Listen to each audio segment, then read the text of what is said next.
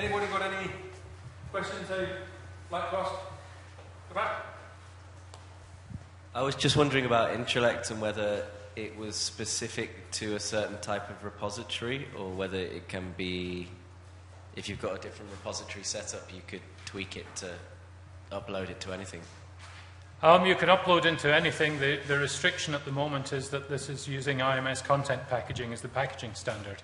But if you have a repository that supports SWORD and IMS content packaging, then this will work with it, yeah. That's the great thing about SWORD. So, SWORD 1.3 or SWORD This 2? is SWORD 1.3 at the moment. 1.3. Any indication of going to SWORD 2? At some stage, yes.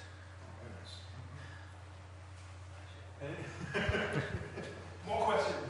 It strikes, sorry, to you, Richard, that strikes me that that would be a good app to go to the sort of two course for Yes. applications.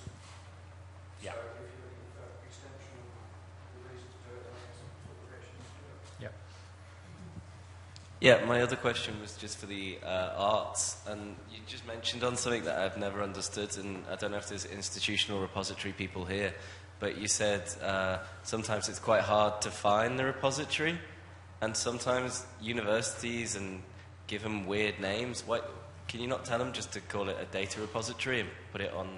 Obviously, you don't have to put it on the homepage, but you know. Um, I mean, it's something that we have discussed um, in, within the group, and we did um, have a very short exercise and have a go at sort of like a branding exercise. Because, for example, with Google, you just say Google, you don't say search engine. And we thought, well, you know, what could you call a repository, like a Moodle? You know, obviously, that's taken, but you know, something um, that would be different and catchy. But I think ultimately it's um, about advocacy. Really, it comes down to advocacy. Peter? Um, question which is a shameless advert. Um, have you thought about using the phrase put it in the depot? And then up would come your institution, put it in data, and hey, you get there. Um, I, we, we, we, had, we had a workshop looking at terminology and we did, we did sort of discuss lots of, of different terms. But yeah, thank you for the plug.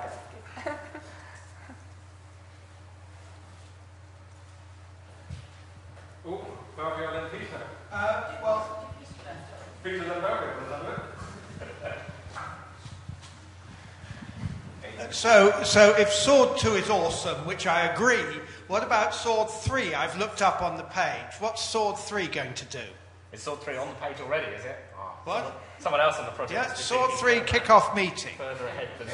Ah, there, so um, there was a confusion with numbering. The projects were called Swords 1 through 4, but the versions of Swords were Swords 1 and 2. So the Sword 2 project is the fourth Sword project. So, yes. But it was very confusing. We dropped that at the beginning of this project.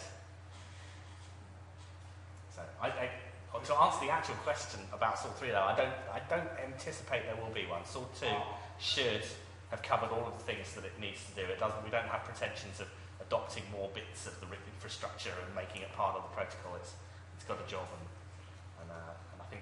think like, Sword 2 is going to cover all the aspects. Maybe a 2 1, maybe. that's what it's simple to keep it that. Yes, exactly. I'm sure someone told me never go for a point zero release or something. Anything, Barbara? Oh, yeah, it's just me.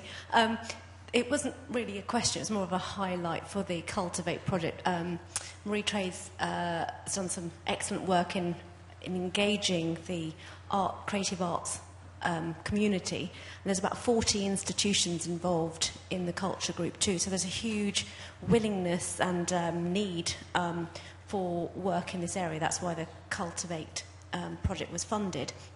Um, and it was a recognition that there, there's more work being done in the kind of um, research repositories in terms of the uh, research papers.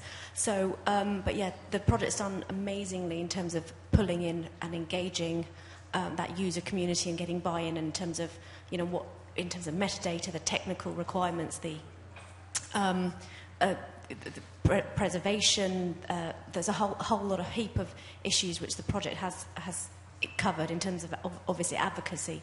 So yeah, I just wanted to highlight that.